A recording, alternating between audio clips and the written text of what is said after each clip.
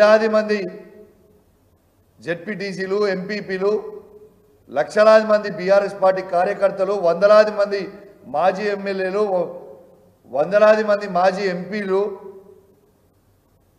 వందలాది మంది మున్సిపల్ చైర్మన్లు కౌన్సిలర్లు మస్తు మంది ఉన్నాం మనం మన పార్టీలో. వీ పోయే ఐదు పది మందితో అయ్యేది ఏమీ లేదు. ఖచ్చితంగా మళ్ళీ మనం అధికారంకి వస్తాం మీకు ఎగ్జాంపుల్ ఆంధ్రానే చెప్తున్నా. రెండు వేల పంతొమ్మిదిలో వైఎస్ఆర్ సిపి గెలిచినాడు. తెలుగుదేశం పార్టీకి కేవలం ఇరవై మూడు ఎమ్మెల్యేలు మాత్రమే ఉండే. దాంట్లో కూడా ఐదు పది మంది అప్పుడు జాయిన్ అయితే తెలుగుదేశం పార్టీలో కేవలం పదమూడు మందో పదిహేను మందో ఎమ్మెల్యేలు మాత్రమే మిగిలిరు కానీ మొన్న అయిన ఇరవై ఇరవై నాలుగు ఎలక్షన్లలో నూట అరవై నాలుగు సీట్లు టీడీపీ గెలిచింది పదకొండు సీట్లకి వైఎస్ఆర్సీపీ దిగిపోయి. ఖచ్చితంగా మళ్ళా వచ్చే అసెంబ్లీ ఎలక్షన్లు ఎప్పుడైనా కూడా మళ్ళా కేసీఆర్ గారు ఈ తెలంగాణ రాష్ట్రానికి ముఖ్యమంత్రి కాబోతా ఉన్నారు.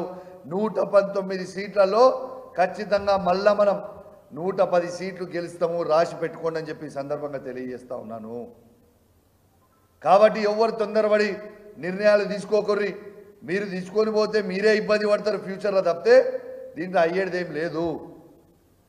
ఇవాళ మీకు ఇప్పుడు మీరు నిన్న చూడొచ్చు కర్ణాటకలో ఇలా కర్ణాటకలో కాంగ్రెస్ పార్టీ ముఖ్యమంత్రి సిద్ధిరామయ్య గారు స్టేట్మెంట్ ఇచ్చారు బీజేపీ పార్టీ యాభై కోట్లు ఎమ్మెల్యేలకు ఆఫర్ చేస్తున్నారు రమ్మని చెప్పి అని ఇచ్చిరని కాంగ్రెస్ పార్టీ ముఖ్యమంత్రి స్టేట్మెంట్ ఇచ్చిర్రు.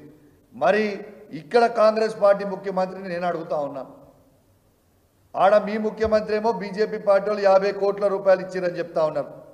మరి మీరు ఎన్ని కోట్ల రూపాయలు ఇచ్చి మా ఎమ్మెల్యేలను కొనుక్కుంటారు ఈడ? యావత్ తెలంగాణ ప్రజలందరూ కూడా దీని జవాబు కోసం వెయిట్ చేస్తూ ఉన్నారు. నీకు ప్రజలు రేవంత్ రెడ్డి గారు మీకు ప్రజలు పూర్తి స్థాయిలో మెజార్టీ ఇచ్చిర్రు. మీరు గవర్నమెంట్లో ఉన్నారు. మీరు ప్రామిస్ చేసిన ఆరు గ్యారంటీలని ఎట్లా ఇంప్లిమెంట్ చేస్తారో ఇంప్లిమెంటేషన్ చేయాలని ఆలోచన చేయరు. మీరు సంపాదించిన అక్రమ సొమ్ముతోని ఈ ఎమ్మెల్యేలను కొనుక్కుంటే ప్రజలు మొత్తం కూడా గమనిస్తూ ఉన్నారు. ఖచ్చితంగా మీరు తీవ్రమైన పరిణామాలు ఫ్యూచర్లో ఎదుర్కొ ఎదుర్కొంటారని ఖచ్చితంగా నేను హెచ్చరిస్తూ ఉన్నానని చెప్పి ఈ ముఖ్యమంత్రి గారిని కూడా హెచ్చరిస్తూ ఉన్నాను. ఇలా మీరు ప్రజల సమస్యలు పట్టించుకోకుండా ప్రజలందరూ కూడా మీరు ఇచ్చిన ఆరు గ్యారెంటీలు ఎప్పుడు ఇస్తారని ఎదురు చూస్తుంటే మీరు అది చూడకుండా దీనికి ఎమ్మెల్యేలను కొనుక్కోవడం ఎమ్మెల్యేలకి కోట్లాది రూపాయలు ఇచ్చి కొనుక్కుంటే ప్రజలు ఎవ్వరు కూడా మిమ్మల్ని హర్షిస్తలేరు. ఎస్ ప్రజలందరూ వేచి చూస్తున్నారు రేవంత్ రెడ్డి గారు. మహిళలకి మీరు రెండు వేల ఐదు వందలు ప్రతి మహిళకి ఇస్తా అన్నారు పద్దెనిమిది ఏళ్ళు వయసు నిండిన ప్రతి మహిళకి రెండు వేల ఐదు వందల రూపాయలు ఇస్తా అన్నారు.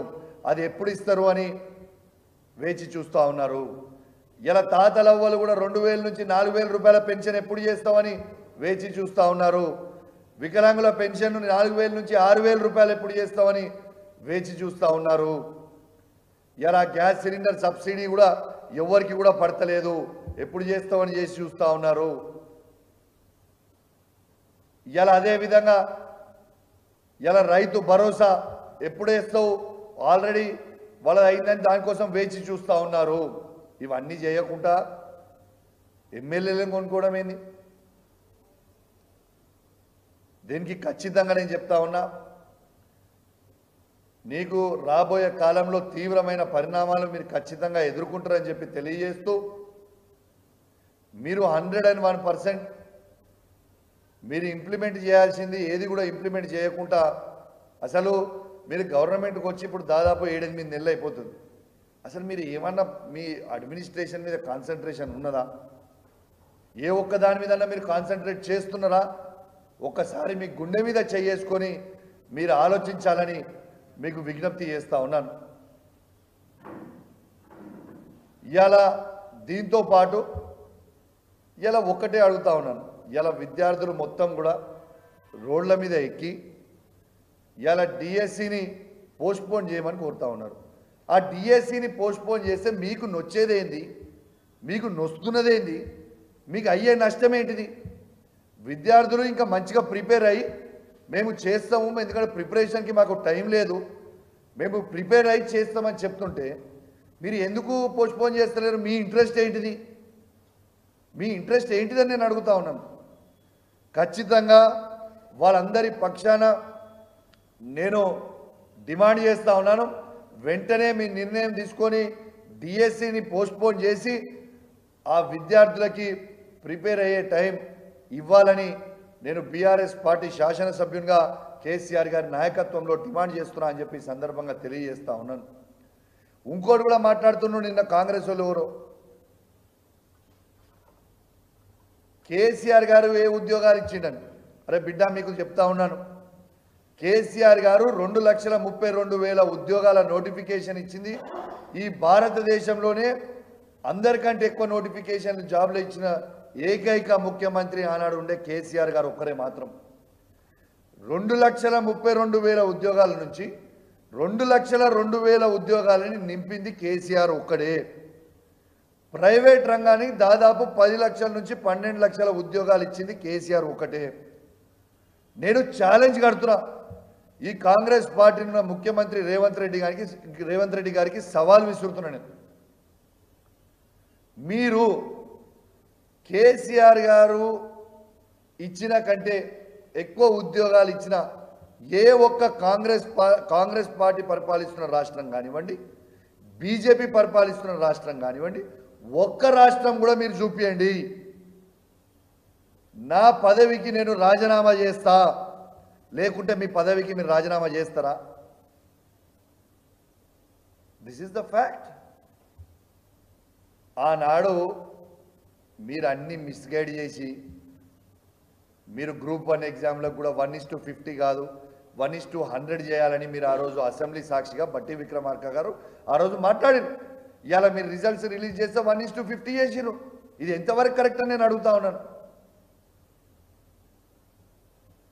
మీరు రాహుల్ గాంధీ గారేమో మన రాజ్యాంగం బుక్ పట్టుకొని మేమేమో ఫిరాయింపుల మీద ఖచ్చితంగా ఒక చట్టం చేస్తామని చెప్పి రాహుల్ గాంధీ గారి ఫిరాయించిన వాళ్ళ మీద ఆయన్నే వీసి కనుగప్పి సెకండ్ ఇస్తా ఉన్నాడు. ఎంత సిగ్గు చేయటండి.